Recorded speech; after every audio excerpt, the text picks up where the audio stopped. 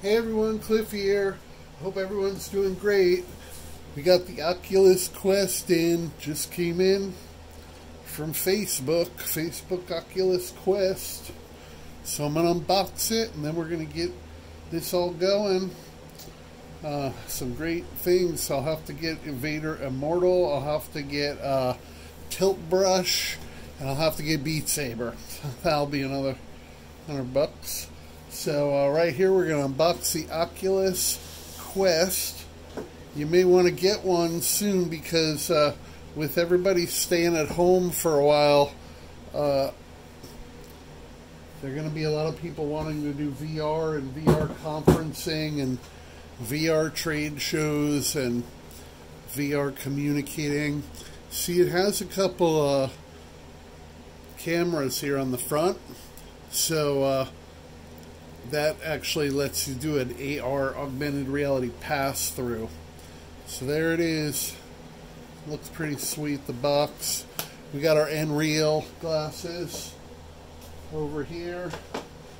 Nreal, two Magic Leaps, uh, Google Glass, and a Vuzix. So right here, we're going to open this up. You got to uh, install the app before you start. Then we have a little face guard, a power charger, a couple batteries. Batteries are included. Not not batteries are not included. Batteries are included. That's good. And then uh, this cable. This USB-C. Uh, so um, I think so. This isn't the link. The link. There's an extra cable called the link, and that allows you to uh, hook up a uh, to a PC.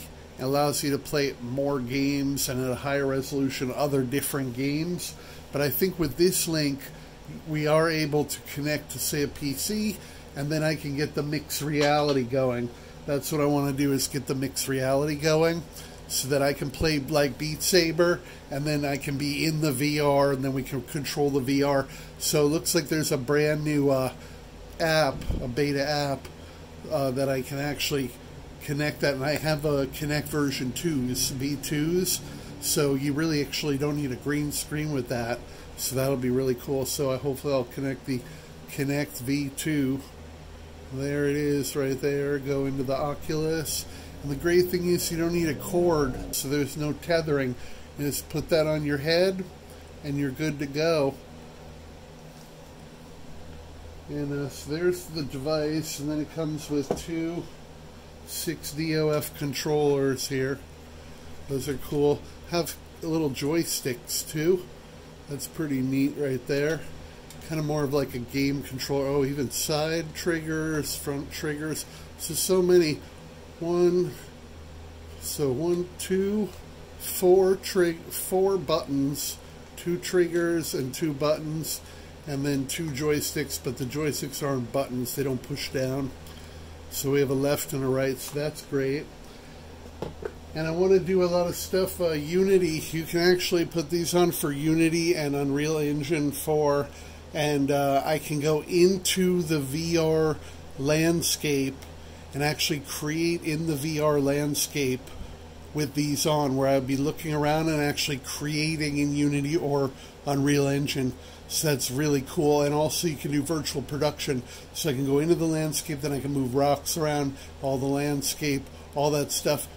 While being in the virtual reality, you're actually in the uh, creation of the you know game that you want to create. So that's everything. Really cool. Can't wait to get this going. Thanks a lot for watching. Make sure to like and subscribe, send friends, share, leave a nice comment, and we'll see you next time.